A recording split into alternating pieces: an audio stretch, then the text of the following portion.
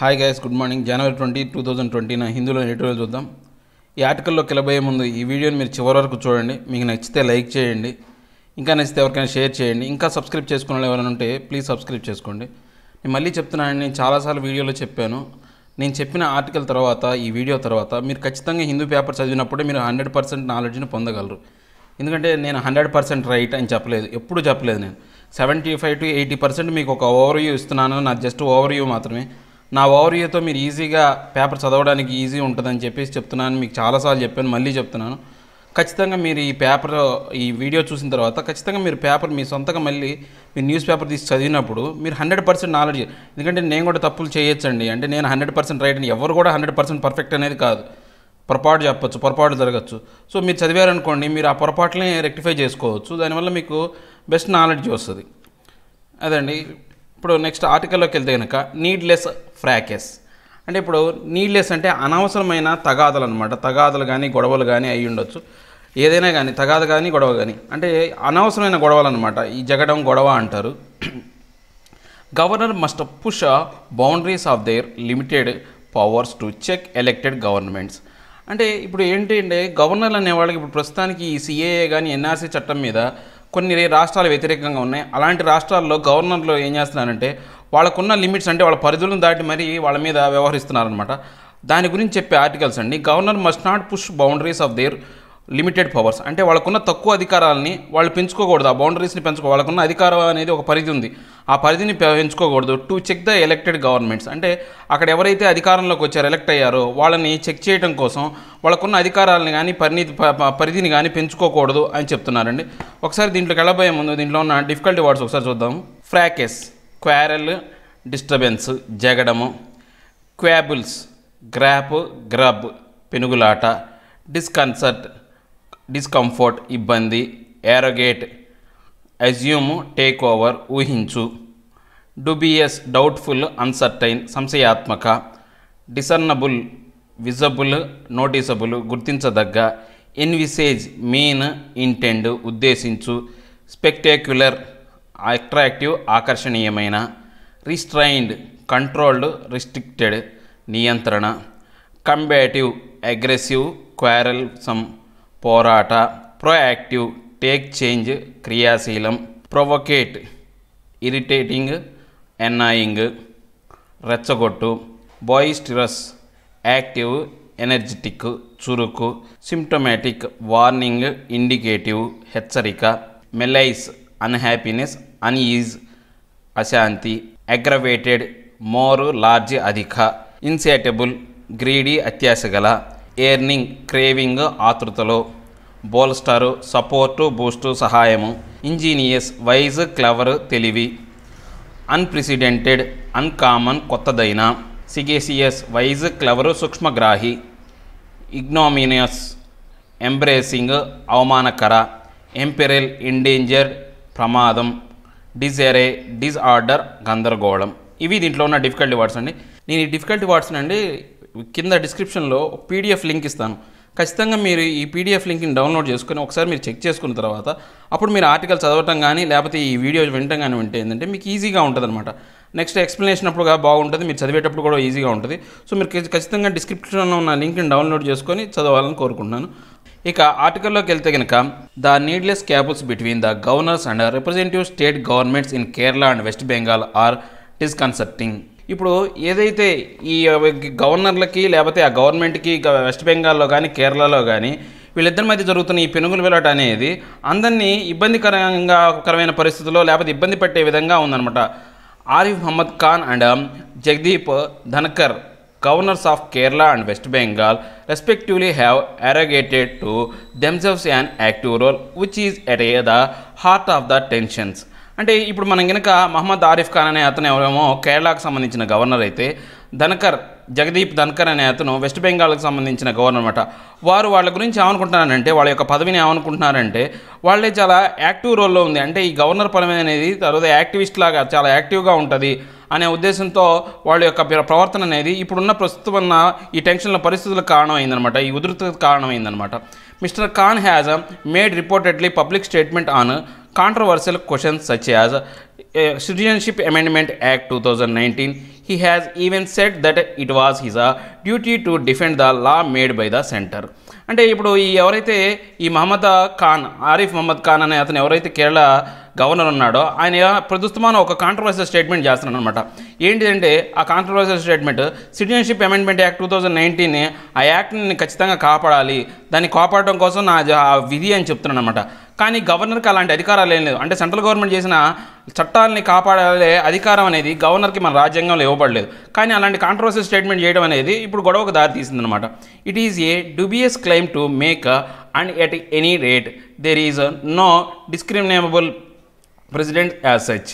అంటే ఇప్పుడు ఇదంతా కూడా అందరికీ డిబిఎస్ అంటే మనం ఏం చెప్పుకున్నాం సంశయాత్మక అనుమానాస్పదంగా ఉందన్నమాట. ఎందుకని? మన రాజ్యాంగం ప్రకారం అలాంటి ఏ చట్టం కూడా లేదు. అంటే గవర్నర్ సెంట్రల్ గవర్నమెంట్ చేసే ఏ చట్టాలనైనా కానీ కాపాడే విధంగా లేకపోతే వాటిని అమలు చేసే విధంగా చూడాలని మన రాజ్యాంగంలో ఎక్కడా లేదనమాట his view his view that his office is not a rubber stamp is true but he must also be mindful that the constitution envisage the exe execution of of po- popular will through an అంటే ఇప్పుడు ఆయన యొక్క ఉద్దేశం ప్రకారం ఇతని governor office అనేది ఒక rubber stamp కాదనేది మాత్రం నిజమే. కానీ అతను మాత్రం ఒక విషయాన్ని గుర్తులో పెట్టుకోవాలన్నమాట. కాన్స్టిట్యూషన్ ఏం చేసింది అంటే ఆ ఎవరైతే ఎలక్ట్ ఎన్నుకోబడ్డ గవర్నమెంట్కి ఎక్కువ అధికారాలు ఇచ్చింది అంటే ఎగ్జిక్యూటివ్గా ఎగ్జిక్యూషన్ ఏదైనా వాళ్ళ యొక్క పాపులారిటీని కానీ లేకపోతే పవర్ని కానీ దాన్ని ప్రవేశపెట్టాలి దాన్ని జరపాలి అంటే అంటే వాళ్ళు ఏదైనా ఒక చట్టం చేసి దాన్ని అమలుపరిచే శక్తి ఎవరికి ఉంటుంది అంటే ఆ ఎగ్జిక్యూటివ్ బాడీ ఎవరైతే ఎలక్టెడ్ గవర్నమెంట్ ఉంటుందో వాళ్ళకే ఉంటుంది అనే విషయాన్ని మాత్రం ఆయన మర్చిపోకూడదు అనమాట Mr Dhankhar has a placed himself at the centre of the several contra several controversies and of an appearance eager for the next spectacular showdown with the stage state government అంటే ఇప్పుడు మన వెస్ట్ బెంగాల్ గవర్నర్ వచ్చేసి దినకర్ కూడా ఆయన కూడా చాలా several controversies అంటే చాలా చాలా వివాదాల్లో ఆయన కూడా ఇరుక్కుపోయాడు అనమాట ఏది ఇంకా ఏం చెప్తున్నాడు? ఆయన చాలా ఆకర్షణీయమైన విషయాల గురించి అంటే రాబోయే కాలంలో గవర్నమెంట్ ఏదైతే తీసుకుంటుందో వాటికి సంబంధించిన వాటి గురించి ఆకర్షణీయమైన పథకాల గురించి నేను చాలా ఈగర్గా వెయిట్ చేస్తున్నాను అనమాట Kerala's left democratic front has been more restrained than the contributive resistance by the West Bengal chief minister Mamata Banerjee but parties bearing the BJP in both states are agita agitated over the pro active and often pro provocative rules of their respective governors అంటే ఇప్పుడు మనం ఏమైనా చూసుకుంటే ఈ Kerala party అనే అంటే democratic front party అనేది west బెంగాల్లో ఉన్న దానికన్నా వెస్ట్ బెంగాల్లో ఉన్న మమతా బెనర్జీ గవర్నమెంట్ కన్నా ఈ గవర్నర్ని ఎక్కువగా రిస్ట్రిక్ట్ చేస్తుంది అంటే కంట్రోల్ చేస్తూ వస్తుంది. రిస్ట్రైన్ అంటే కంట్రోల్ చేయడం అంటే రిస్ట్రిక్ట్ చేయడం అనమాట వాళ్ళు. ఆ రిస్ట్రిక్ట్ చేస్తూ వస్తుంది అనమాట ఇప్పుడు మనకైనా చూసుకుంటే బీజేపీ కాని పార్టీలు అయినటువంటి ఈ రెండు రాష్ట్రాల్లో కూడా బీజేపీకి అనుసంధానమైన పార్టీ అంటే ఇవి మిత్ర పార్టీలు కాదు లేదా బీజేపీ యొక్క పార్టీలు కాదు. ఈ రెండు సపరేట్ పార్టీలు. ఇవి ఏంటంటే ఎవడైతే ప్రోయాక్టివ్ అంటే క్రియాశీలంగా ఉన్న ఇలాంటి గవర్నర్ల విషయంలో వీళ్ళు ఎక్కువగా ఎజిటేషన్ అంటే వ్యతిరేకిస్తూ వస్తున్నారు రకరకాల వీళ్ళు వ్యతిరేకిస్తూ వస్తూ ఉన్నారనమాట ఈ రెండు పార్టీలు ఈ రెండు రాష్ట్రాల్లో. The boisterous profile of these governors are sympathetic of large malaise of degrading relationship between the centre and state roiled by the parties opposed to the BJP aggravated by an insatiable yearning of the former for centralisation of power అంటే ఇప్పుడు వీళ్ళు కనుక వీళ్ళ యొక్క పరిధులు కనుక చూసుకుంటే ఇక్కడ ఉన్న అంటే ఇవి బాస్టియస్ అంటే బాస్టియస్ ప్రొఫైల్ ఇక్కడ వీళ్ళు చురుకుగా వ్యవహరించే అంటే క్రియాశీలంగా వ్యవహరించే ఈ గవర్నర్ల యొక్క పరిస్థితి ఎలా ఉంది అంటే వీళ్ళు అశాంతికారకంగా ఉందన్నమాట. అంటే బీజేపీ ఇతర పార్టీలు ఉన్న ఇలాంటి రాష్ట్రాలలో ఈ సెంట్రల్ గవర్నమెంట్కి స్టేట్ గవర్నమెంట్కి మధ్య ఉన్న సంబంధాలను తెగ తెగొట్టే విధంగా తర్వాత కేంద్రీకృత పరిపాలన విధానం అంటే సెంట్రల్ గవర్నమెంట్కి ఎక్కువ అధికారాలు ఉన్నాయని చెప్పే విధంగా ఒక వివాదాస్పదంగా అశాంతిని కలగజేసే విధంగా వీళ్ళ యొక్క వ్యవహార శైలి ఉందన్నమాట the constitution seeks to bolster in centripetal forces in this vast and diverse country and the country's power to appoint governance is one such అంటే ఇప్పుడు ఈ కాన్స్టిట్యూషన్ అనేది ఏంటి అంటే సెంట్రిపీటల్ ఫోర్స్ అంటే కేంద్రీకృత వ్యవస్థ వ్యవస్థీకరణ అంటే సెంటర్ కేంద్రీకృతంగా వ్యవస్థను నడిపించాలనే ఉద్దేశంతో రాయబడింది అనమాట దానికి అనుగుణంగానే గవర్నర్ పదవి అనే దాన్ని ఒకదాన్ని ఏర్పరిచారు. The governor's constitution role has been debated and interpreted through several cases but ingenious occupants of the official have managed to push the boundaries with unprecedented moves అంటే ఇప్పుడు మనం ఏమైనా చూసుకుంటే ఈ గవర్నర్ల యొక్క వాళ్ళ యొక్క అధికారాలు ఎంతవరకు ఉన్నాయి అనే విషయాల్లో చాలాసార్లు చర్చలు జరిగినాయి.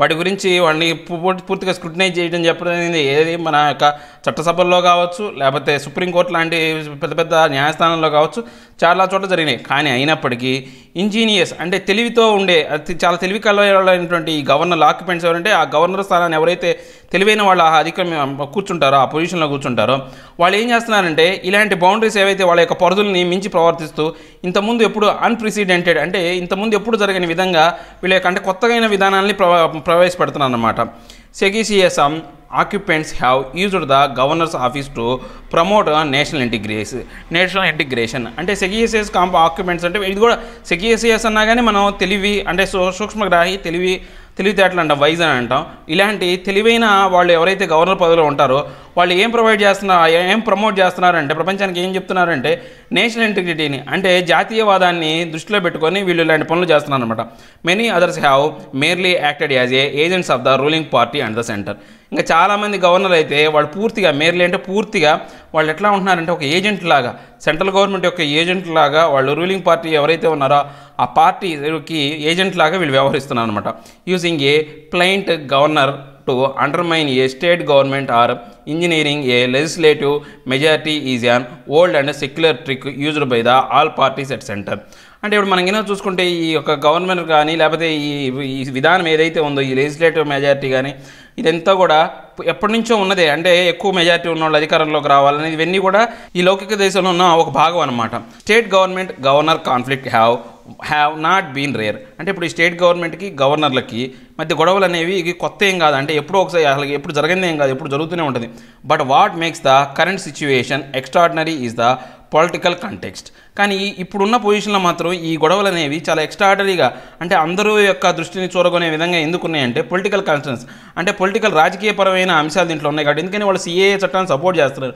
సో ఇది ఒక రాజకీయపరమైన అంశం కాబట్టి దీంట్లో ఇది ఇది ఇంత హైలైట్ అయిందనమాట no other government in the past has sought to construct a centralising narrative for the nation as the current one at the centre and the no government in the past has been as a intolerant towards the its diversity అంటే ఇప్పుడు ఇంతకుముందు కానీ central government కానీ వ్యవహరించిన విధానం ఇప్పుడు మన మన ఇప్పుడు కనపడుతున్న వ్యవహారం విధానం కానీ లేదా స్టేట్ గవర్నమెంట్లు వాటిని వ్యతిరేకించే విధానం అనేది ఇంతకుముందు అనేది ఎప్పుడు జరగలేదు. In this scheme the governor appears to have a critical instrumental role అంటే ఇప్పుడు ఈ స్కీమ్లో ఇప్పుడున్న పరిస్థితుల్లో ఈ గవర్నర్ అనే అతను మాత్రం చాలా ఇంపార్టెంట్ విషయం అనమాట క్రిటికల్ రోల్ని ప్లే చేస్తున్నాడు అనమాట ఇన్స్ట్రుమెంటల్ రోల్. ఒక ఒక- ఒక వాళ్ళకి ఒక పనిముట్లాగా ప్రవర్తిస్తూ వ్యవహరిస్తున్నాడు. ఎవరు సెంట్రల్ గవర్నమెంట్కి లో ఉన్న పార్టీ ఏదైతే బీజేపీ పార్టీకి ఉందో వాళ్ళకి ఒక పనిముట్లాగా వ్యవహరిస్తున్నాడు అనమాట the ignominious role played by the then governor of Jammu and Kashmir in ending its special constitutional status last year is institute. అంటే ఇప్పుడు మనం ఇంకా చూసుకుంటే ఈ యొక్క జమ్మూ కాశ్మీర్ గవర్నర్ ఒకప్పటి గవర్నర్ అయినటువంటి ఆ జమ్మూ కాశ్మీర్ ఆయన ప్రవర్తించిన వ్యవహార శైలి అందరినీ ఆశ్చర్యపరిచే ఆయన వ్యవహార శైలి వల్ల ఏమైంది అంటే జమ్మూ కాశ్మీర్కి కాన్స్టిట్యూషన్ పరంగా వచ్చిన ఆ స్టేటస్ ఏదైతే ఉందో ఆ హక్కు ఏదైతే ఉందో ఆర్టికల్ త్రీ సెవెంటీ రద్దు చేయడం కానీ లేకపోతే అది ఒక రాష్ట్రంగా ఉన్న అలాంటి అన్నింటినీ కూడా కోల్పోవాల్సి వచ్చిందనమాట అది అందరూ గుర్తించాల్సిన విషయం అనమాట the governor's role as a link between the state and the central shall not be an imperial one అంటే ఇప్పుడు గవర్నర్ యొక్క పొ పొజిషన్ అంటే దాని యొక్క అతని యొక్క ఏంటి పని ఏంటి అంటే సెంట్రల్ గవర్నమెంట్కి స్టేట్ గవర్నమెంట్కి మధ్య అనుసంధకర్తగా లేకపోతే వారధిలాగా వాళ్ళిద్దరిని కలిపే విధంగా ఉండాలా? దాన్ని ప్రమాదం కలిగించే విధంగా ఉండకూడదు. ఇంపీరియల్ అంటే ప్రమాదం.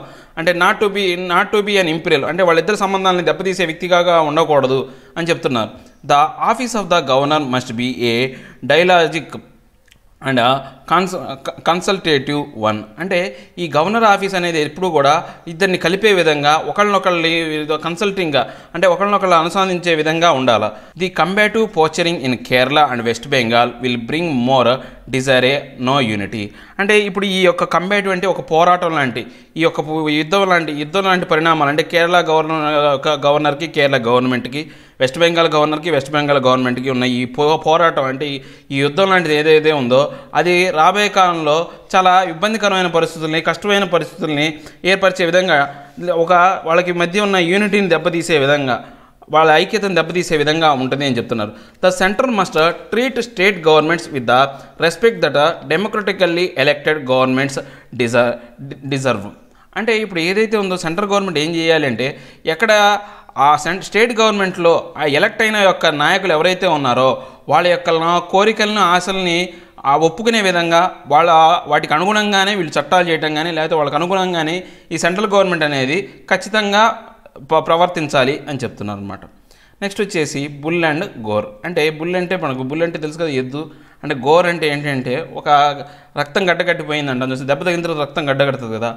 అది అనమాట. అంటే ఒక రకంగా అంటే బ్లడ్ షెడ్ అంటే రక్తపాతం అని- అని చెప్పొచ్చు అనమాట as a danger to life and limb persist it is time to introduce protective gear for jallikattu అంటే ఇప్పుడు జీవితాలకే ప్రమాదం. ఈ జల్లికట్టు గురించి సంబంధించిన ఆర్టికల్ అండి. ప్రతి సంవత్సరం తమిళనాడులో స- దసరా పండుగ సారీ సంక్రాంతి పండుగకు ఈ యొక్క పండగ ఈ ఉత్సవాన్ని జరుపుతారనమాట ఈ జల్లికట్టు అనే ఒక ఆట అనమాట ఇది. ఒక ఎద్దును వదిలేసి దాన్ని కంట్రోల్ చేయడానికి చాలామంది యూత్ కానీ లేదా అక్కడ ఉన్న ప్రజలు చూస్తూ ఉంటారు. మనం చాలామంది టీవీలో చూసే ఉంటారు. ఈ యొక్క ఆట అనమాట వాళ్ళకి ఒక సాంప్రదాయమైన ఆట.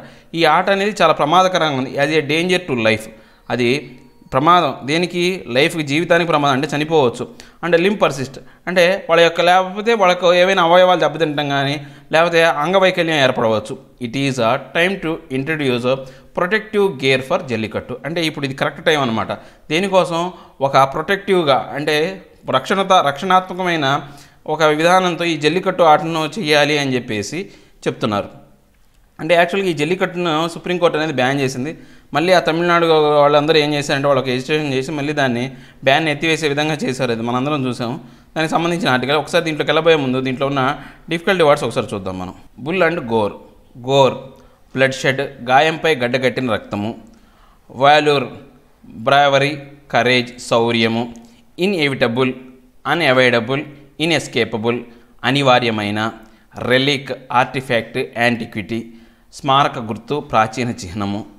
ఫెడరల్ భూస్వామ్య వ్యవస్థ ఎరీనా స్టేడియము గ్రౌండ్ కార్యక్షేత్ర స్థలం నై నియర్ జస్ట్ సమీపము పర్పరేటర్ క్రిమినల్ కల్ప్రిట్ నేరస్తుడు హ్యారీ ఓల్డ్ పురాతన రిగరస్ స్ట్రిక్ట్ సివియర్ కఠినమైన. ఇవి దీంట్లో ఉన్న డిఫికల్టీ వర్డ్స్ అండి. ఇక మనం ఆర్టికల్లోకి వెళ్తే కనుక seen by the courts as a cruelty on bulls, but uh, celebrated in Tamil Nadu as a display of um, valor. The roller spirit of uh, Jallikattu is an inevitable part of the Pongal season in the state. అంటే కోర్టులన్నీ కూడా దీన్ని ఒక ఎద్దుల మీద జరిపే ఒక హింసాకాండగా మనం చూస్తున్నారు. కోర్టులన్నీ కూడా ఈ సుప్రీంకోర్టు కావచ్చు హైకోర్టు కావచ్చు ఏవైనా కావచ్చు. కానీ తమిళనాడులో మాత్రం వాళ్ళందరూ దీన్ని ఒక సౌర్యానికి వలర్. అంటే వాళ్ళ సౌర్యాన్ని ప్రతిబింబించే విధంగా ఉండే ఆటని అక్కడ ఆ రోలర్ అంటే వాళ్ళ యొక్క ఆ ప్రా ప్రాదేశికమైన ఆటగా ఈ జల్లికట్టును చూస్తున్నాను అనమాట ఇది అనివార్యం అనమాట ప్రతి పొంగల్ సీజన్లో ఇది ఖచ్చితంగా జరిగే ఆ రాష్ట్రంలో జరిగే ఖచ్చితంగా జరిగే ఆట అనమాట ఇది. It is promoted as a tourist attraction by the government and its appear as a symbol of Tamil culture remains the same year after year అంటే ఇప్పుడు ఈ గవర్నమెంట్ ఏం చేస్తుందంటే ఈ యొక్క ఆటని దాని వాళ్ళ యొక్క టూరిజాన్ని అట్రాక్ట్ చేసుకోవడానికి టూరిజాన్ని డెవలప్ చేసుకోవడానికి ఉపయోగించే ఒక ఒక టూల్గా ఒక పనిముట్లాగా చూస్తుంది. తర్వాత దీంతోపాటు ఏమని చెప్తున్నానంటే వాళ్ళ యొక్క రాష్ట్రాన్ని యొక్క ఏదైతే కల్చర్ ఉందో ఆ కల్చర్ని ప్రతి సంవత్సరం సంవత్సరాన్ని కాపాడుకుంటున్నామని చెప్పడానికి ఈ ఆట నిదర్శనని వాళ్ళు చెప్పుకుంటారనమాట it is only the odd voice that seems as the relic of feudal past అంటే ఇప్పుడు ఇది ఒక్కటి మాత్రమే ఆడు వాయిస్. ఇప్పుడు మనకి ఏంటంటే అందరూ దీనికి వ్యతిరేకించే వాళ్ళందరూ ఏం చెప్తారంటే భూస్వామ్య విధానాన్ని ప్రతిబింబించే విధమైన ఆటను ఆ ఆటను మాత్రమే ఇప్పుడు మనం చూస్తున్నాము. ఒకప్పుడు భూస్వామ్య విధానంలో ఉన్న ఆట ఆ భూస్వామ్య విధానాన్ని అందరూ వ్యతిరేకించారు.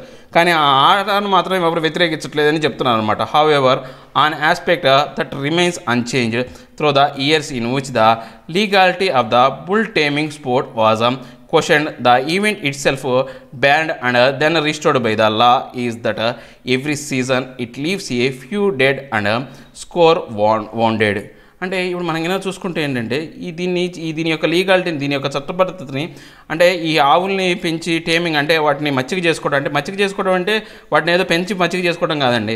అవి బాగా బాగా కోపంగా ఉన్నప్పుడు లేకపోతే క్రోధంగా ఉన్నప్పుడు వాటిని పట్టుకొని వాటి మెడలో ఉంచి వాటిని మచ్చిక చేసుకోవడం అనేది ఎప్పటి నుంచో జరుగుతుంది. అది బ్యాన్ చేశారనమాట బ్యాన్ చేసినప్పటికీ చట్ట ప్రకారం దీన్ని బ్యాన్ చేసినప్పుడు మళ్ళీ దీన్ని ఏం చేశారు? దీన్ని పునరుద్ధరించారనమాట ప్రతి సీజన్లో దీన్ని ఆడుతున్నాను అనమాట దీనివల్ల ఏమవుతుంటే చాలామంది చనిపోతున్నారు కొంతమందికి దెబ్బలు తగులుతున్నాయి. Often these wounds are a tra trauma doctors night Meyer. అంటే ఇప్పుడు ఎవరైతే ఈ యొక్క దెబ్బలు కట్టుకట్టే వాళ్ళ డాక్టర్లకి ఒక పీడకల్లా మిగిలిపోతున్నాయి ఈ దెబ్బలు అనేవి. Given the grievous nature of the bull goring injuries అంటే ఇవన్నీ కూడా వాటి యొక్క ప్రమాద తీవ్రత. అంటే ఆ దెబ్బల యొక్క పరిస్థితిని చూస్తే కనుక వాళ్ళందరికీ ఒక పీడకల్లా మిగిలిపోతున్నాయి అనమాట it is an event that crisis for maximum regulations అంటే ఇప్పుడు కరెక్ట్ టైం అనమాట అంటే మ్యాక్సిమం రెగ్యులేషన్ దీంట్లో చాలా మార్పులు తీసుకురావాలి చాలా చట్టాలను తీసుకురావాలి ఈ ఆట ఆడేటప్పుడు. The regulations have been tightened from time to time and no event takes place without official permission or medical supervision అంటే ఇప్పుడు ఈ రెగ్యులేషన్స్ అనేవి కూడా ఎప్పటికప్పుడు టైట్గా టైం టు టైం వీటిని చాలా గట్టి పటిష్టమైన చర్యలు తీసుకుంటూ చేయాలి వీటిని. దాంతోపాటు ఈ ఈవెంట్లు అనేవి ఎటువంటి పర్మిషన్ లేకుండా పోలీసులు అఫీషియల్ పర్మిషన్స్ లేకుండా లేకపోతే మెడికల్ సూపర్వైజర్ లేకుండా జరగకూడదని చెప్పి ఒక స్ట్రిక్ట్ రూల్స్ పెట్టాలి. The playing arena is protected By double barricades The entry point and the collection point where the bulls are to be taken back by the owners after they leave the arena are supposed to have sufficient protective features to minimize incidents that are lead to injuries and fatal- fatalities. అంటే ఇప్పుడు మనం ఏమైనా చూసుకుంటే ఏంటంటే ఈ ఆట ఆడే స్థలంలో ఖచ్చితంగా డబుల్ బ్యారియర్స్ ఉండాలి? అంటే మన బ్యారియర్స్ అండ్ బ్యారిగేట్స్ అని ఉంటాం కదా అడ్డంగా పెట్టేవాళ్ళు. మన జనాలు ఎక్కువ మంది లోపలికి ఎంటర్ అవ్వకుండా ఉండి. ఆ బ్యారిగేట్స్ అనే డబుల్ బ్యారిగేట్స్ అనేవి పెట్టాలా?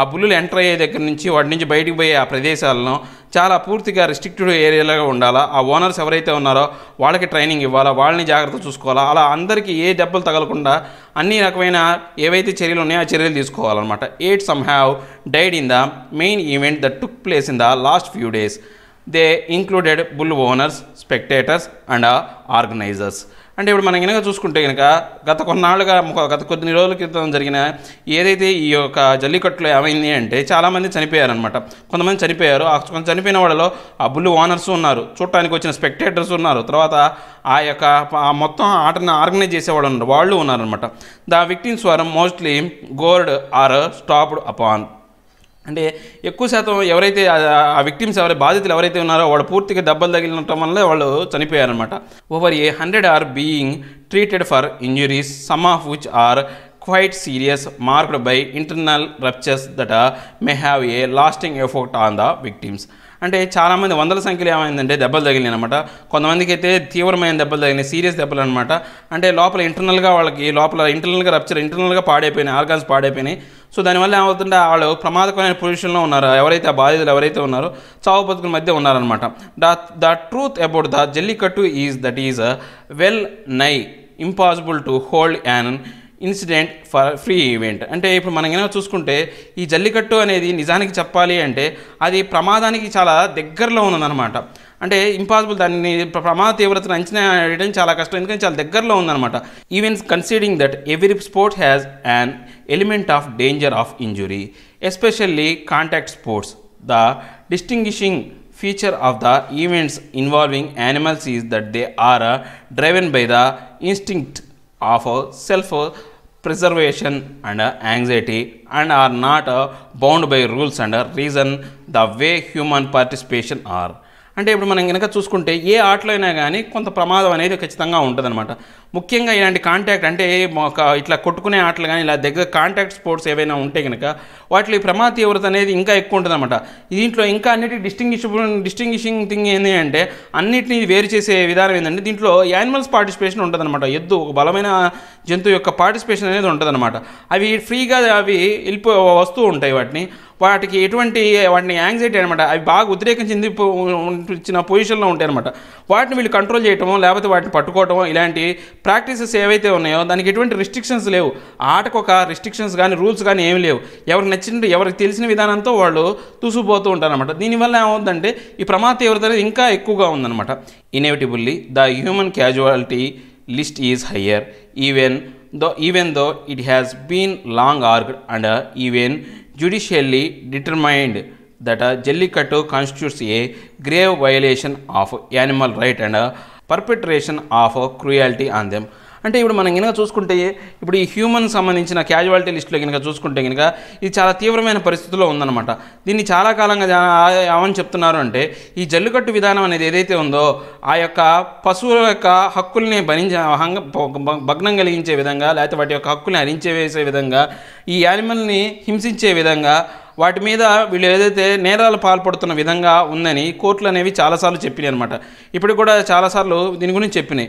Popular sentiment political patronage and cultural instinct to preserve party practices that hack back to a hoary past contributed collectively to the continues of the sport అంటే ఇప్పుడు మనం ఏమైనా చూసుకుంటే ఏంటంటే పాపులర్ సెంటిమెంట్ అంటే దీనికి సెంటిమెంట్ పరంగా ఇది చాలా పాపులర్ అనమాట అంటే అది ఒక సెంటిమెంట్ ఈ ఆట ఆడితేనే వాళ్ళకి మంచి జరుగుద్ది అన్న సెంటిమెంట్లు ఒకటి ఉన్నాయి.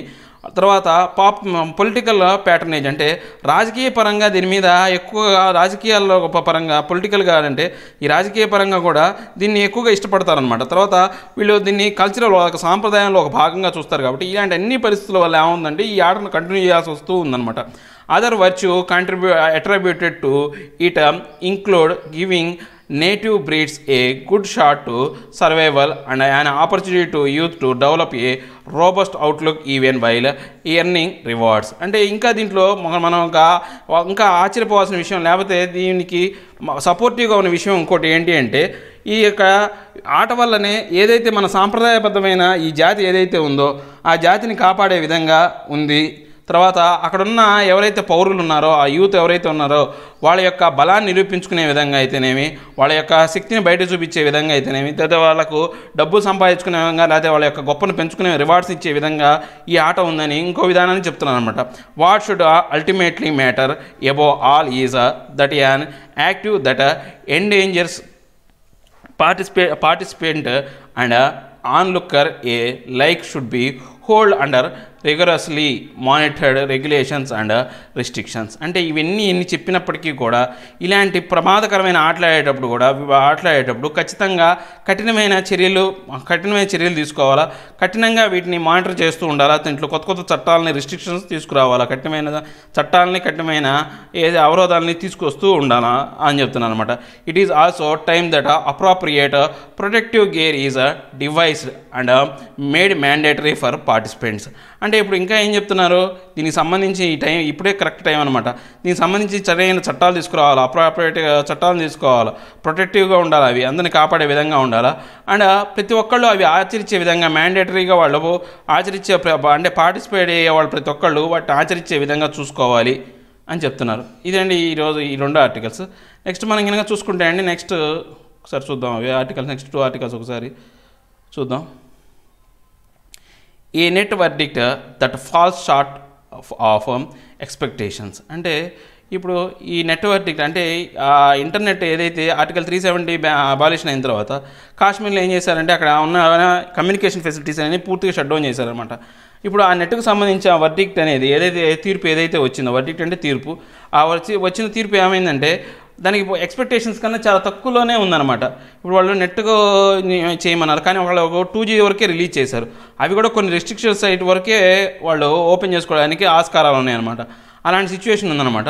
The judicial ruling on the Kashmir communication block as hardly struck a blow for the doctrine of the proportionality అంటే ఇప్పుడు ఇదంతా కూడా చాలా లిమిటెడ్గా ఉంది. ఏదైతే ఆ చట్టం ఉందో ఆ డాక్టరీన్ ఏదైతే ఉందో ఆ చట్టం ఏదైతే ఉందో దానికి పూర్తి స్థాయిలో న్యాయం జరగలేదు. చాలా వరకు లిమిటెడ్గా ఉందని చెప్తున్నారు. సో అక్కడ ఆర్టికల్ త్రీ సెవెంటీ తర్వాత జరిగిన పరిణామాలు ఏమైతే ఉన్నాయో ఆ తర్వాత ఏ కేసు నడిచింది? ఆ కేసు సంబంధించి Anura Anuradha Bhasin versus union of India కేసులో భాగంగా ఈ చట్టం అనేది తీర్పునిచ్చారనమాట ఈ ఈ చట్టానికి వ్యతిరేకంగా కోర్టు అనేది తీర్పునిచ్చింది. దాని గురించి ఇన్ డీటెయిల్గా ఇచ్చాయండి ఒకసారి మీకు చదవండి. ఈజీగా అర్థమైపోతుంది. సో సింపుల్ వర్డింగ్లో అనేది పెద్ద ఇబ్బంది ఏం లేదు. తర్వాత equity weak pulse and commodified medicine అంటే ఇప్పుడు మనం కనుక చూసుకుంటే ఇది మెడికల్ ఫీల్డ్కి సంబంధించిన అనమాట ఇప్పుడు మెడికల్గా భారతదేశం అనేది ఎలా ఉంది అనే దాని గురించి సంబంధించిన ఆర్టికల్ ఇవి కూడా సింపుల్ వాడింగ్లో ఉందండి మీరు చూడండి. నెక్స్ట్ మనం ఇంకో క్రూషియల్ ఆర్టికల్ ఉందండి ఈరోజు మనకు. నెక్స్ట్ పేజ్లో వచ్చేసల్లా why make in India has failed ఇది చాలా ఇంపార్టెంట్ అనమాట. ఎందుకంటే ఇలాంటి ఆర్టికల్ అనేవి మనకు మెయిన్స్లో కావచ్చు లేకపోతే మనకు ఎకానమీ పరంగా బ్యాంకింగ్ సెక్టర్ ఎగ్జామ్స్లో కానీ ఇలాంటి క్వశ్చన్స్ అనేవి మనకు రైజ్ అయ్యే అవకాశం ఉంది కాబట్టి why make in India has failed? మన భారతదేశంలో మేక్ ఇన్ ఇండియా అనే ప్రోగ్రామ్ అనేది September twenty fifth two thousand fourteen Narendra Modi garu చాలా ప్రతిష్టాత్మకంగా దీన్ని స్టార్ట్ చేశారు. కానీ ఆ ప్రోగ్రామ్ ప్రాజెక్ట్ అనేది పూర్తిగా ఫెయిల్ అయిపోయింది. ఇప్పుడున్న ఎకానమిక్ పొజిషన్లో మేక్ ఇన్ ఇండియా ప్రాజెక్ట్ అనేది అట్టర్ ఫ్లాప్ అనమాట అట్టర్ ఫ్లాప్ అవడానికి కారణాలు ఏంటి? మీకు ముఖ్యంగా ఏ కారణాలు ఉన్నాయని చెప్పే ఆర్టికల్ అండి. చాలా ఇంపార్టెంట్ ఆర్టికల్. ఒకసారి ఈ ఆర్టికల్ చూద్దాం. Why make in India has failed అంటే మేక్ ఇన్ ఇండియా ఎందుకు ఫెయిల్ అయింది? It is too ambitious spectacularly ill timed and has brought into many sectors into its fold అంటే ఇప్పుడు మనం ఏమైనా చూసుకుంటే ఇది చాలా అంబిషియస్ అనమాట అంటే అనుకోవాల్సిన దానికన్నా అంబి కోరికలు ఎక్కువ ఉన్నాయి దీనికి. ఉన్న కోరికల కన్నా అంటే అది నెరవేర్చగలిగే కోరిక కన్నా చాలా ఎక్కువైన కోరికలు ఉన్నాయి తర్వాత. తర్వాత ఇది అనూహ్యంగా ఇల్ టైం అంటే చాలా తక్కువ కాలంలో దీన్ని రిస్ట్రిక్ట్ చేశారనమాట అంటే దీనికి సరైన సమయం సారీ దీనికి సరైన సమయాన్ని ఇవ్వాలి. ఇల్ టైం అనమాట కరెక్ట్ టైం టైం అనేది వీళ్ళు ఇవ్వలేకపోయారు. And has brought into many sectors into the its fold అంటే దీంట్లో చాలా సెక్టార్లను తీసుకొచ్చారు. ఏదో ఒకటి రంగం రెండు రంగాలను తీసుకొచ్చి సరిపోయేది. కానీ ఎక్కువ సంఖ్యలో ఈ రంగాల్ని దీంట్లో ఈ మేక్ ఇన్ ఇండియా ప్రోగ్రాంలో కలపడం వల్ల ఏ రంగం మీద కాన్సన్ట్రేట్ గవర్నమెంట్ కాన్సన్ట్రేషన్ లేకుండా పోయింది. సో ఇంప్లిమెంటేషన్ ప్రాబ్లం వల్ల మెయిన్ ఫెయిల్యూర్ ఎక్కడ జరిగింది అంటే ఇంప్లిమెంటేషన్ ఫెయిల్యూర్ దేనికి దేనివల్ల ఇంప్లిమెంటేషన్ ఫెయిల్యూర్ జరిగింది? ఎక్కువ సెక్టార్ రంగాలు అనేవి దీంట్లో ప్రా- పాలు పంచుకున్నాయి. దాంతోపాటు ఇది చాలా అనుకోవాల్సిన కోరికల కన్నా దీనికి ఎక్కువ కోరికలు ఉన్నాయి. అంటే ఇది నెరవేర్చగలిగే కోరికల కన్నా ఎక్కువ కోరిక గొంతమ్మ కోరికలు ఎక్కువ అయిపోయాయి అనమాట దీనికి. అందువల్ల ఇది ఫెయిల్ అయిందని చెప్తున్నారు. ఒకసారి దీంట్లోకి వెళ్ళబోయే ముందు దీంట్లో ఉన్న డిఫికల్టీ వర్డ్స్ మనం ఒకసారి చూద్దాం.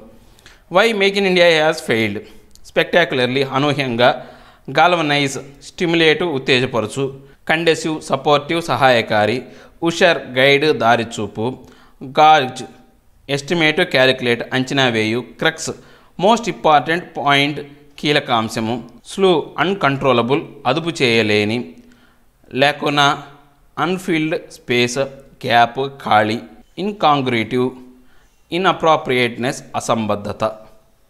ఇవి దీంట్లో ఉన్న డిఫికల్టీ వర్డ్స్ అండి. ఇక మనం ఆర్టికల్లోకి వెళ్తే కనుక On September 25, 2014, the Indian government announced the Make in India initiative to encourage manufacturing in India and galvanize the economy with um, decide, dedicated investments in manufacturing and uh, services. అంటే ఇప్పుడు మనం కనుక చూసుకుంటే ఈ సెప్టెంబర్ ఇరవై ఐదో తారీఖు రెండు వేల పద్నాలుగున భారతదేశంలో Narendra Modi make in India అనే ప్రోగ్రామ్ స్టార్ట్ చేశారనమాట ఈ మేక్ ఇన్ ఇండియా ప్రోగ్రామ్ యొక్క ముఖ్య ఉద్దేశం ఏంటంటే భారతదేశంలోనే ఏ వస్తువునైనా కానీ తయారు చేయాలి.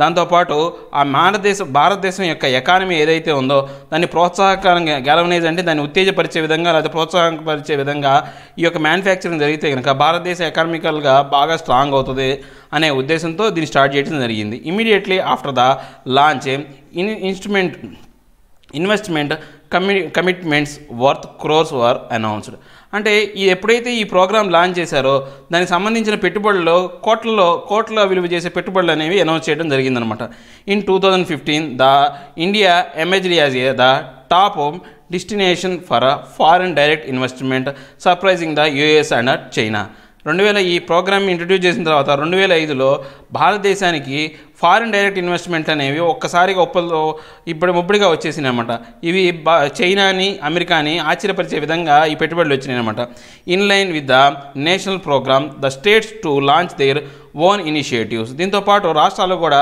ఈ యొక్క నేషనల్ ప్రోగ్రాంకి అనుసంధానంగా రాష్ట్రాలు కూడా వాటి యొక్క సొంత పథకాలన్నీ ప్రవేశపెట్టాయి అనమాట five year later as a brace for another union budget it would be appropriate to take stock of the stock of the much hybrid initiative as the economy in general and the manufacturing sector in particular is on a slippery slope అంటే ఇప్పుడు మనం ఏదైనా చూసుకుంటే ఇలా ఇంత బాగా జరిగిన తర్వాత ఒక ఐదేళ్ళ తర్వాత యూనియన్ బడ్జెట్తో పాటు దీన్ని కనుక ఒకసారి మనం కనుక చెక్ చేసుకుంటే కనుక ఈ ఎకానమీ అనేది మనది ఆల్రెడీ తగ్గుముఖంలో ఉంది ఆ ఇబ్బందుల్లో ఉంది. దాంతోపాటు ఏమైందంటే ఈ మ్యానుఫ్యాక్చరింగ్ సెక్టర్ అనేది పర్టికులర్గా చూసుకుంటే కనుక పూర్తిగా ఒక తగ్గుముఖంలో ఇది కూడా స్లాపర్ అంటే తగ్గుముఖంలో జా జారుడిపోయే విధంగా ఉందన్నమాట.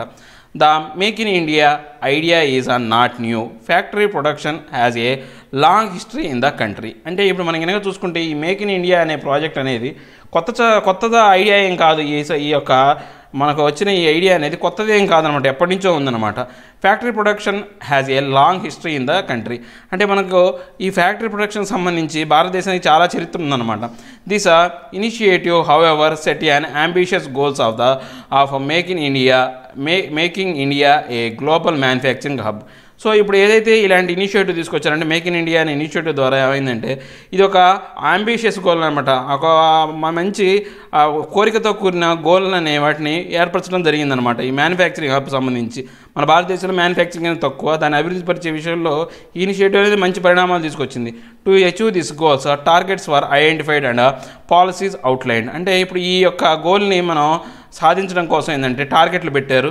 దాంతోపాటు పాలసీలు కూడా వీటి కోసం తయారు చేశారనమాట the three major objectives were first a to increase the manufacturing sector growth rate to twelve to fourteen percent per annum annum in order to increase the sector of the share in the economy అంటే దీని ప్రకారం ఫస్ట్ది ఏంటి అంటే ఈ manufacturing sector సంబంధించిన growth rate అనేది ప్రతి సంవత్సరం కూడా పన్నెండు నుంచి పద్నాలుగు శాతం ఉండే విధంగా చూసుకోవాలా? ఇది ఎకానమీకి ఉపయోగపడుతుంది అనే విధంగా ఫస్ట్ గోల్ని పెట్టారు. తర్వాత to create hundred million additional manufacturing jobs in the economy by twenty twenty two అంటే దీని ప్రకారం ప్రకారం ఏంటంటే వంద మిలియన్ల కొత్త ఉద్యోగాలు అనేవి మ్యానుఫ్యాక్చరింగ్ జాబ్లో అనేవి ఏర్పరచవచ్చు రెండు వేల ఇరవై రెండుకు గాను అని చెప్పారు. Next C to ensure that the manufacturing sector contribution to GDP is increase to twenty five percent by twenty twenty two revised to twenty twenty five from the current sixteen percent అంటే ఇప్పుడు మనం కనుక చూసుకుంటే కనుక ఈ manufacturing sector యొక్క GDP value అనేది twenty five percent అనేది రెండు వేల ఇరవై రెండు కల్లా ఎక్కువ ఉండాలి. అంటే దీని రెండు వేల ఇరవై ఐదు ప్రకారం లెక్క ప్రకారం చూసుకుంటే ఇరవై ఐదు శాతం అనేది ఎక్కువ ఉండాలి. ఇప్పుడు ప్రస్తుతానికి ఎంత ఉందంటే కరెంట్ సిక్స్టీన్ పర్సెంట్ మాత్రమే ఉంది. ఒకసారిగా ఎన్ని శాతం? తొమ్మిది శాతం అనేది పెరగాలని చూశారనమాట the policy approach to create a conducive environment environment for investments develop model develop model and efficient infrastructure and open up new sectors for foreign capital అంటే ఇప్పుడు ఈ పాలసీ అప్రోచ్ అనేది స- చాలా కండెన్స్ అంటే సప సహాయకారిగా ఉందన్నమాట. తర్వాత దేనికి? ఎన్విరాన్మెంట్ ఫర్ ఇన్వెస్ట్మెంట్గా అంటే పెట్టుబడులు పెట్టడానికి కానీ డెవలప్ చేయడానికి కానీ తర్వాత ఎఫెక్టివ్ ఇన్ఫ్రాస్ట్రక్చర్ దానికి సంబంధించిన మౌలిక సదుపాయాలన్నీ ఏర్పరచడం కోసం కానీ తర్వాత open up for new sectors for foreign capital అంటే విదేశాల నుంచి కూడా పెట్టుబడులు రావడానికి ఆస్కారంగా ఉండే విధంగా ఇవన్నీ మార్పులు తీసుకొచ్చారన్నమాట.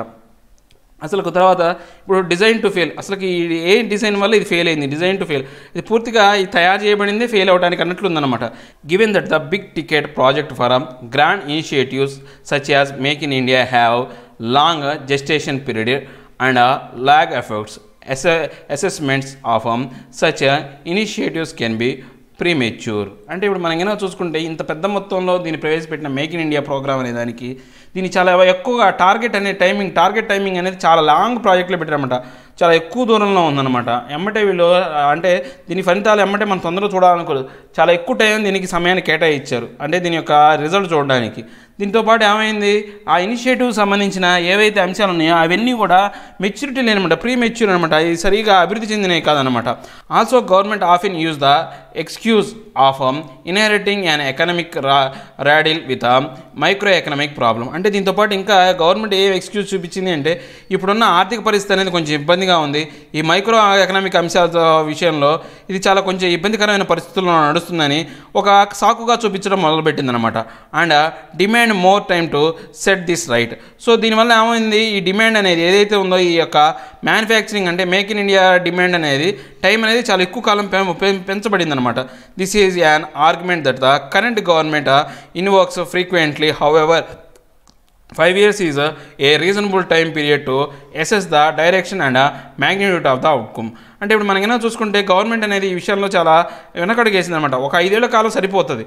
అంటే ఇలాంటి విషయాల్లో వాటి యొక్క డైరెక్షన్ గురించి అంటే అది ఎదుగుతుందా లేదా దాని యొక్క ప్రభావం ఎంతవరకు ఉంది మ్యాగ్నిట్యూడ్ అంటే దాని యొక్క ప్రభావం ఎంతవరకు ఉంది అవుట్కమ్స్ అనేవి ఎలా ఉన్నాయనేది చూడుకోవడానికి ఒక ఐదేళ్ళు తప్పు సరిపోతుంది అనమాట కానీ ఐదేళ్ళ కన్నా ఎక్కువ టైం సమయాన్ని గవర్నమెంట్ కేటాయించింది అనమాట as a policy changes were intended to usher growth in three key variables of the manufacturing sector investment output and employment growth and examination of these will help us gauge the success of the policy అంటే ఇప్పుడు మనం కనుక చూసుకుంటే ఈ policy changes ప్రకారం చూసుకుంటే కనుక ముఖ్యంగా మూడు అంశాలు మనల్ని గైడ్ చేస్తాయి. అంటే ఈ ఉషర్ అంటే ఉషర్ గ్రోత్ అంటే ఈ అభివృద్ధిని గైడ్ చేసే విధానంలో అంటే వాటి యొక్క మార్గదర్శకాలను చూ- నిర్ధారించే విషయాల్లో మూడు అంశాలు ఏమున్నాయన్నమాట? ఒకటి ముఖ్యంగా ఏంటంటే ఇన్వెస్ట్మెంట్ తర్వాత ఇన్వెస్ట్మెంట్ తర్వాత అవుట్పుట్ తర్వాత ఎంప్లాయ్మెంట్ గ్రోత్ ఈ మూడు అంశాలను బట్టి మనం ఈ- పాలసీ సక్సెస్ అయిందా ఫెయిల్యూర్ అయిందా అనేది చూడవచ్చు అనమాట the last five years witnessed slow growth of investment in the economy మనం ఇప్పుడు లాస్ట్ ఒక ఐదు సంవత్సరాలుగా మనం ఎన్నో చూసుకుంటే మన భారతదేశంలో ఈ ఇన్వెస్ట్మెంట్ అనేది ఎకానమీ పరంగా మన యొక్క ఇన్వెస్ట్మెంట్ అనేది చాలా తగ్గిపోయింది. This is more so when we consider capital investment in manufacturing sector అంటే ఇప్పుడు మనం కనుక చూసుకుంటే కనుక ఇక్కడ దీంట్లో ఎక్కువగా చూసుకుంటే ఇన్వెస్ట్మెంట్ అన్నీ కూడా మ్యానుఫ్యాక్చరింగ్ సెక్టర్లోనే ఎక్కువ జరిగినాయండి. అనమాట ఎక్కువగా కన్సిడరబుల్గా ఎక్కువ ఉన్నాయి. Gross fixed capital in formation of the private sector a measure of the aggregative investment decline to twenty eight point six percent of GDP in two thousand seventeen eighteen from thirty one point three percent in two thousand thirteen fourteen economic survey two thousand eighteen ninety రెండు రెండు వేల పద్దెనిమిది పంతొమ్మిది economic survey ప్రకారం మనం కనుక చూసుకుంటే ఈ ప్రైవేట్ సెక్టర్ యొక్క అగ్రిగేటివ్ ఇన్వెస్ట్మెంట్ అనేది రెండు వేల పద్దెనిమిది ప- ప- ప- పదిహేడు పద్దెనిమిదిలో ఇరవై ఎనిమిది పాయింట్ ఆరు శాతంకి పడిపోయింది. ఇంతకుముందు ఎంత ఉంది? రెండు వేల పదమూడు పద్నాలుగులో ముప్పై ఒకటి పాయింట్ మూడు శాతం అనేది ఉంది. అంటే ప్రైవేట్ సెక్టర్ రంగం యొక్క పెట్టుబడులు అనేవి పూర్తిగా తగ్గిపోయినాయి అనమాట interestingly through the public sector share remained more or less the same during this period the private sector share decline from twenty four point two percent to twenty one point five percent అంటే ఇప్పుడు మనం ఏమైనా చూసుకుంటే public sector అంటే government యొక్క పెట్టుబడులు మాత్రం ఈ యొక్క పీరియడ్లో మాత్రం అలానే ఉన్నాయి కానీ ఈ ప్రైవేట్ సెక్టర్ యొక్క పెట్టుబడులు పూర్తిగా పడిపోయినాయి అనమాట ఇరవై నాలుగు పాయింట్ రెండు శాతం నుంచి ఇరవై ఒకటి పాయింట్ ఐదు శాతాన్ని పడిపోయినాయి అనమాట part of this problem can be attributed to the decline in the saving rates in the economy so ఇలా పెట్టుబడి పడిపోయేసరికి కదా ఎకానమీలో మనం దాచుకోవాలి సేవింగ్స్ ఏవైతే ఉన్నాయో ఆ సేవింగ్స్ రేట్ కూడా తగ్గిపోయింది అనమాట household savings have declined while the private corporate sectors savings have increased అంటే హౌస్ హోల్డ్ అంటే ఒక్కొక్కళ్ళ ఇంట్లో దాచుకునే సొమ్ము. ఎందుకని? ఎంప్లాయ్మెంట్ తగ్గిపోయింది అనుకోండి అందరి యొక్క దాచుకునే సొమ్ము అనేది తగ్గిపోద్ది అనమాట హౌస్ హోల్డ్ సేవింగ్స్ అనేది తగ్గిపోయినాయి. తర్వాత ప్రైవేట్ సెక్టర్ యొక్క కార్పొరేషన్ వాళ్ళ యొక్క సేవింగ్ అనేది ప్రైవేట్ కార్పొరేషన్ యొక్క సేవింగ్ అనేది పెరిగిపోయింది అనమాట thus we find a scenario where the private sector savings have increase but investment have decrease despite policy measures to provide a good investment climate అంటే ఇప్పుడు మనం ఏమైనా చూసుకుంటే కనుక ఈ ప్రైవేట్ సెక్టర్ యొక్క సేవింగ్స్ పెరిగినప్పటికీ వాళ్ళు పెట్టుబడులు పెట్టడానికి మాత్రం పెట్టుబడులు మాత్రం తగ్గిపోయినాయి. అంటే వాళ్ళ దగ్గర డబ్బులు ఉన్నప్పటికీ పెట్టుబడులు పెట్టలేదు. ఎందుకు పెట్టలేదు అంటే వాళ్ళకు మంచి క్లైమేట్ ఇవ్వలేదు. అంటే పెట్టుబడులకు అనువైన మార్గాలు అనేది గవర్నమెంట్ చూపించడంలో ఫెయిల్ అయిందనమాట with regard to output growth we find that the monthly index of industrial production per pertaining to manufacturing as a registered double digit growth rate only on two occasions during the period of April two thousand twelve to November two thousand nineteen అంటే ఇప్పుడు మనం కనుక చూసుకుంటే కనుక ఈ manufacturing సెక్టార్లో double growth rate అనేది double digit growth rate అనేది కొంత పీరియడ్లో రెండు వేల పన్నెండు నుంచి రెండు వేల పంతొమ్మిది వరకు మాత్రమే ఉందన్నమాట. In fact data shows that for a majority of the month it has a three percent or below and even negative for some months అంటే ఈ యొక్క గ్రోత్ రేట్ పీరియడ్లో కూడా ఈ టూ డిజిట్ ఉన్న దాంట్లో కూడా మనం చూసుకుంటే కనుక మెజారిటీ ఎక్కువ శాతం మంది నెలలు అనేవి త్రీ పర్సెంట్ మాత్రమే గ్రోత్ రేట్ ఉంది. కొన్ని కొన్ని చోట్ల అయితే బాగా నెగిటివ్ గ్రోత్ రేట్ కూడా మనకు చూపించింది అనమాట needless to say negative growth implies Contra contraction of sector. అంటే ఇప్పుడు మనం చెప్పాల్సిన అవసరం లేదు. ఎట్లాగా నెగిటివ్ గ్రోత్ రేట్ చూపించింది అంటే దాని యొక్క ఆ సెక్టార్ యొక్క పరిధిని తగ్గించినట్టే అని చెప్తున్నాం అనమాట thus we are clearly waiting for growth to arrive అంటే ఇప్పుడు మనం క్లియర్గా ఆ గ్రోత్ అనేది ఎదుగుదల అనేది లేకుండా పోయింది. క్లియర్గా కనపడుతుంది అనమాట ఆ గ్రోత్ అనేది పెరగటం పెరుగుదల లేదని కనపడుతుంది అనమాట regarding employment growth we have witnessed questions being raised over the government's delay in releasing data as well as a its some attempts to revise existing data collection mechanisms అంటే ఇప్పుడు మనం దీంతో పాటు ఎంప్లాయ్మెంట్ గ్రోత్ కానీ వీటన్నిటి విషయాల గురించి చాలా క్వశ్చన్లు ఉన్నాయన్నమాట. దానికి సంబంధించి గవర్నమెంట్ కూడా ఎలాంటి డేటాని కానీ ఏమి రిలీజ్ చేయట్లేదు. ఎగ్జిస్టింగ్ డేటాని కూడా అది చెప్పట్లేదు అనమాట మెకానిజమ్స్ కూడా చెప్పట్లేదు అనమాట the crux of the debate has been that employment especially industrial employment has not grow to keen pace with the rate of the new entries in to the labour market crux అంటే అర్థం ఏంటంటే ముఖ్యమైన అంశం. ఇక్కడ మనకు ముఖ్యంగా గుర్తుపెట్టుకోవాల్సిన అవసరం ఏంటంటే ఇక్కడ ఈ ఇండస్ట్రీల పరంగా ఎంప్లాయ్మెంట్ అనేది గ్రోత్ అనేది ఎక్కువగా జరగలేదు.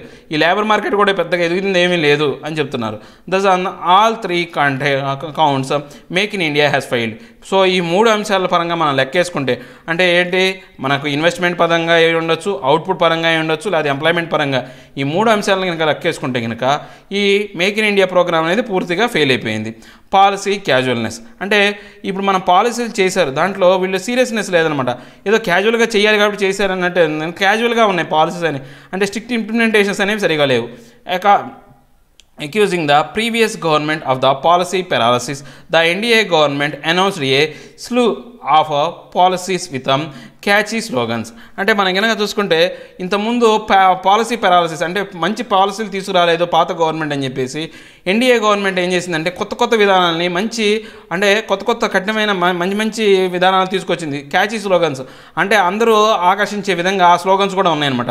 This has a resulted in an era of never ending schemes announcement so దీనివల్ల ఏమైంది అంటే ఒక అంతం లేని ఏవైతే స్కీమ్స్ ఏవైతే ఉన్నాయో వాటిని ఆ స్కీమ్ వాటిని పథకాలనే వాటిని ప్రవేశపెట్టడానికి ఈ స్లోగన్స్ కానీ ఈ పాలసీస్ కానీ ఆస్కారాన్ని కల్పించినాయి make in India is a good example of continuous stream of schemes announcement the announcement had two major lacunas. అంటే ఇప్పుడు మనం కనుక చూసుకుంటే కనుక అలాంటి అంశాల్లోనే మేక్ ఇన్ ఇండియా స్కీమ్ కూడా స్టార్ట్ అయిందనమాట మేక్ ఇన్ ఇండియా స్కీమ్లోంచి కూడా చాలా అంశాలు అనేవి ఇలాంటి స్కీమ్స్ అనేవి అనౌన్స్మెంట్ అవడానికి మేక్ ఇన్ ఇండియా కూడా ఒకటి కారణమైందనమాట కానీ ఈ అనౌన్స్మెంట్ హెడ్ ఈ అనౌన్స్మెంట్కి మాత్రం రెండు లుకియానా అంటే రెండు ఖాళీలు ఉన్నాయన్నమాట.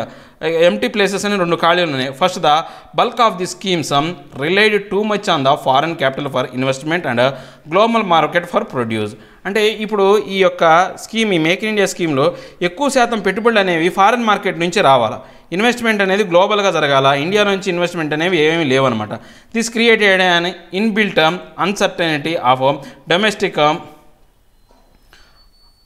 domestic production domestic production has to be planned according to the demand supply condition elsewhere so దీనివల్ల ఏమైంది? ఫారెన్ నుంచి రావాలి కాబట్టి వాళ్ళు ఏం చేశారు? ఆ ఏదైతే మనకు వాళ్ళకు అవకాశం ఉందో అంటే డిమాండ్ ఎక్కడైతే ఉందో వాటి అంశాల మీదే వాళ్ళు కాన్సన్ట్రేట్ చేయడం మొదలుపెట్టారు. ఎందుకంటే వాళ్ళ ఆదాయం కోసం ఫారెన్ నుంచి వచ్చారు కాబట్టి వాళ్ళు డబ్బులు సంపాదించుకునే ఉద్దేశంలో డిమాండ్ సప్లై ప్రకారమే వాళ్ళు ప్రొడక్షన్ అనేది స్టార్ట్ చేయడం మొదలుపెట్టారు. ఆ పెట్టుబడి పెట్టిన వాళ్ళు second policy makers neglected the third defic def deficit in the economy which is implementation అంటే ఇప్పుడు మనకు ఎవరైతే పాలసీ మేకర్స్ ఈ చట్టాలు చేసిన ఈ రాజకీయ నాయకులు ఎవరైతే ఉన్నారో ముఖ్యంగా మూడో అంశాన్ని అనే దాన్ని అసలు పట్టించుకోలేదు. ఏంటిదంటే ఇంప్లిమెంటేషన్ అసలు పట్టించుకోలేదు. While the economist worry mostly about the budget and physical deficit policy implementation need to take into account the impli implications of the implementation deficit in their decisions అంటే ఇప్పుడు ఎవరు కూడా ఈ ఎకనమిస్ట్ ఎవరైతే ఉన్నారో వాళ్ళు ఎప్పుడు కూడా దేని గురించి ఆందోళన చెందేవాళ్ళు అంటే ఈ బడ్జెట్ గురించి ఫిజికల్ డిఫిసిట్ ఈ ద్రవ్యోల్బణం గురించి అంటే ద్రవ్యం యొక్క మనం కూడా తగ్గిపోవడం డిఫిసిట్గా ఉండడం అంటే డబ్బులు తక్కువగా ఉంటుంది దాని గురించి ఆలోచించలేదు కానీ ఈ పాలసీని ఇంప్లిమెంటేటర్స్ కానీ ఇంప్లిమెంట్ చేయాలనే ఉద్దేశం మాత్రం వాళ్ళు ఎప్పుడు వాళ్ళు చూపించలేదన్నమాట. The result of such policy oversight is evident in the large number of stalled projects in India so ఈ ఇలాంటి ఈ ధోరణి అంటే వాళ్ళు దీన్ని పట్టించుకుపోవడం వల్ల ఏమైందంటే భారతదేశంలో చాలా వరకు ప్రాజెక్టులు అనేవి ఆగిపోయినాయి. స్టాల్డ్ అంటే ఆగిపోవడం అనమాట the spate of policy announcement without having the prepa preparedness to implement them is a policy casualness అంటే ఈ పాలసీ ఏవైతే ఉన్నాయో అనౌన్స్మెంట్ చేసిన విధానం వాటిని విధానం అనేది సరైన అంటే ప్రిపేర్డ్నెస్ లేకుండా అంటే ప్రిపేర్డ్నెస్ లేకుండా ఇంప్లిమెంటేషన్స్ గురించి సరిగా ఆలోచించపోకుండా ఓన్లీ పాలసీని ప్రవేశపెట్టానే పాలసీ క్యాజువాలిసీ క్యాజువల్నెస్ అంటారనమాట make in India has been plagued by a large number of under prepared initiatives అంటే మనం కనుక ఈ మేక్ ఇన్ ఇండియాలో చూసుకుంటే కనుక దీంట్లో చాలా అంశాల వరకు కూడా ఎటువంటి ప్రిపరేషన్ లేవు. ఇనిషియేషన్కి వాటిని ఎలా మొదలు పెట్టాలనే వాటి గురించి ఎటువంటి కరెక్ట్గా క్రియాశీలమైన అంశాలు అనేవి లేవన్నమాట the question that begs and answer is why did make in India fails so ఇప్పుడు చివరికి మనం దీని గురించి మనం కనుక ఆలోచించగలిగితే దీని కనుక మనం కనుక చర్చించగలిగితే దాన్ని బట్టి మనం చెప్పొచ్చు మేక్ ఇన్ ఇండియా అనేది ఎందుకు ఫెయిల్ అయిందని చెప్పొచ్చు అనమాట there are three reasons first it set out too ambitious growth rate for the manufacturing sector to H అంటే ఫస్ట్ ఏంటంటే టార్గెట్ ఏం పెట్టారంటే దీనికి అంబిషియస్ అనమాట దీనికి కోరికలు అనేవి చాలా అంటే ఆ మితిమీన అత్యాశ అనేది ఎక్కువ అయిపోయిందనమాట అంటే ఉండాల్సిన అచీవ్మెంట్ కన్నా ఎక్కువ టార్గెట్లు అనేవి దీనికి పెట్టారు. An annual growth rate of twelve to fourteen percent is well beyond the capacity of the industrial sector. అంటే వీళ్ళు ఏంది యాన్యువల్ గ్రోత్ రేట్ని ట్వెల్వ్ నుంచి ఫోర్టీన్ మధ్యలో పెట్టమని ఈ టార్గెట్ పెట్టారనమాట కానీ ఇది ఇండస్ట్రియల్ సెక్టార్నికి మించిన భారం అనమాట ఎక్కడ ఎప్పుడు జరగదు ఇలాంటి. Historically India has not achieved it and to expe expect to build capabilities for such quantum jump is perhaps an enormous overestimation of implementation capacity of the government అంటే ఇప్పుడు మనం ఏమైనా చూసుకుంటే ఇదైతే ఒక్కసారిగా దీని యొక్క టార్గెట్ అనేవి ఇంత పెట్టడం అనేది ఏంటంటే హిస్టారికల్గా ఎప్పుడు జరగలేదు. సో దీనివల్ల ఏముందంటే ఓవర్ ఎస్టిమేషన్ అనుకున్న దానికన్నా ఎక్కువగా దీన్ని ఎస్టిమేట్ చేశారనమాట second the initiative brought in too many sectors in its fold అంటే ఇప్పుడు ఈ ఇనిషియేటివ్ అంటే ఈ మేక్ ఇన్ ఇండియా ఇనిషియేటివ్లో చాలా అంశాలు తీసుకొచ్చారు. ఏదో ఒక అంశం ఇప్పుడు ఇండస్ట్రియల్ సెక్టారో లేకపోతే ఏదైనా కన్స్ట్రక్షన్ సెక్టర్ సెక్టారో అలాంటి వాటిలో చూడాలి మొత్తం అన్ని సెక్టర్లను ఒకేసారి తీసుకొచ్చారనమాట this led to a loss of policy focus దీనివల్ల ఏమైంది అంటే ఇలాంటి దీనివల్ల ఏమైందంటే పాలసీని ఫోకస్ చేయడం అంటే ఒక దాని మీద మనం కాన్సన్ట్రేట్ చేయడం అనేది తగ్గిపోయింది అది లాస్ అయిపోయాం. Further it has seen as the policy devoid or devoid of any understanding of the comparative advantage of the domestic economy so దీనివల్ల ఏమైంది? ఈ యొక్క ఈ దీని యొక్క ప్రభావం అనేది అంటే దాని మీద అవగాహన లేకపోవడమో లేకపోతే దాని మీద ఎక్కువ కాన్సన్ట్రేట్ చేయకపోవడం వల్ల ఏంటంటే ఈ డొమెస్టిక్ ఎకానమీ అనేది కూడా దీని యొక్క అడ్వాంటేజ్ కూడా కోల్పోయింది. Third given the uncertainties of the global economy and even rising trade protectionism and protectionism the initiative has a spectacularly ill timed అంటే ఇప్పుడు మనం ఏమైనా చూసుకుంటే కనుక ఈ ప్రపంచం మొత్తంగా ఈ గ్లోబల్గా ఉన్న ఈ ఎకానమీ అనేది ఎవర్ రైజింగ్ అంటే ఈ యొక్క పడిపోవటం పెరగటం అనేది. తర్వాత ఈ యొక్క పూర్తిగా ఇల్ ఇల్ టైమ్డ్ అనమాట ఈ దీనికి సంబంధించిన క- సమయం కేటాయించిన సమయం అనేది పూర్తిగా చూసుకుంటే కనుక మనం చూసుకుంటే కనుక అనూహ్యంగా అసలు ఎక్కువ టయాన్ని ఇచ్చినట్టే అనమాట make in India is a policy initiative with inbuilt inbuilt inconsistencies అంటే మేక్ ఇన్ ఇండియా అనేది ఒక పాలసీని మొదలుపెట్టిందండి. దాంట్లోనే చాలా లోపల అనమాట తప్పులు తప్పులు తడగ్గా ఉందన్నమాట. దీని మొదలు మొదల్లోనే చాలా తప్పులు ఉన్నాయన్నమాట the bundle of the contradictions unfold when when we examine the incongru incongruity of swadeshi products being made with foreign capital అంటే ఇప్పుడు దీన్ని ఇది ఒక బండిల్ అనమాట అంటే తప్పులు తరగాలంటే ఈ బండిల్ని కనుక మనం కనుక ఇప్పితే కనుక దీనిలో చాలా లోపాలు కనబడతాయి. అంటే స్వదేశంలో తయారు చేసే వస్తువుల యొక్క పెట్టుబడి అనేది ఎక్కడి నుంచి రావాలా? ఫారెన్ నుంచి రావాలా? ఇది ఎంత విచిత్రంగా ఉంది. This has a led to a scenario where there is a quantum jump in the case of doing business ranking but investments are still to arrive అంటే దీనివల్ల అంటే దీన్ని ఎందుకు ఇలా చేశారు అంటే ఒక్కసారిగా క్వాంటమ్ జంప్ ఒక్కసారిగా ఎక్కువగా పెరగాలి. తర్వాత ఈజ్ ఆఫ్ డూయింగ్ బిజినెస్లో బాగా ఉంది. అంటే బాగా వేరే దేశం నుంచి పెట్టుబడులు వస్తున్నాయి అంటే ఈజ్ ఆఫ్ డూయింగ్ బిజినెస్ అనేది భారత్లో చాలా తేలిక అంటే బిజినెస్ పెట్టాలి అంటే భారతదేశంలో చాలా తేలిక అనే అంశాలను వీళ్ళు దృష్టిలో పెట్టుకున్నారే కానీ ఇన్వెస్ట్మెంట్ గురించి ఆలోచించారు ఇప్పటికీ ఇన్వెస్ట్మెంట్ అనేవి రాలేదు. The economy needs much more than policy window addressing for increasing the manufacturing activity అంటే ఇప్పుడు దీనికి ఎక్కువగా మన ఎకానమీ అనేది ఎలాట్ చేయాలి. అంటే వేరే వాళ్ళ దగ్గర నుంచి మనం డబ్బులు పెట్టుబడి పెట్టాలా? ఈ మ్యానుఫ్యాక్చరింగ్ యాక్టివిటీస్ కోసం మనం తలుపులు తెరవకుండా ముందు మనమే ఎకానమికల్గా దానికి పెట్టుబడి పెట్టే విధంగా ఉండాలి? The government must realise that industrialisation cannot be kick stand by a series of bills in parliament and hosting investors meets అంటే ఇప్పుడు మనం గవర్నమెంట్ అనేది ఒకటి దృష్టిలో పెట్టుకోవాలి. ఒక ఇప్పటికైనా కొంచెం అవగాహన తెచ్చుకోవాలి. దేనికి? ఇండస్ట్రియలైజేషన్ అనేది ఎప్పుడు కూడా పార్లమెంట్లో ఒక సిరీస్ ఆఫ్ ఎమ్మటెమ్మటే ఎమ్మటెమ్మటే చట్టాలు చేసినంత మాత్రం జరగదు. దాంతోపాటు హోస్టింగ్ ఇన్వెస్టర్స్. అంటే ఎవరైతే ఇన్ పెట్టుబడులు పెట్టే వాళ్ళందరూ ఉంటారో వాళ్ళందరికీ ఒక చోట ప్రదేశాన్ని కల్పించి మీట్లు మీటింగ్లు పెట్టినంత మాత్రాన ఇండస్ట్రియల్గా డెవలప్ అవ్వదు అనే అంశాన్ని ఇప్పుడన్నా గవర్నమెంట్ అనేది రియలైజ్ అవ్వాలి అని చెప్తున్నారు. ఇవేంటి ఈరోజు నా ఆర్టికల్స్? ఇందులోని ఫోర్త్ ఆర్టికల్స్. నా ఎక్స్ప్లెనేషన్ మీకు నచ్చినట్లయితే లైక్ చేయండి షేర్ చేయండి సబ్స్క్రైబ్ చేయడం మాత్రం మర్చిపోకండి. Thank you thank you very much.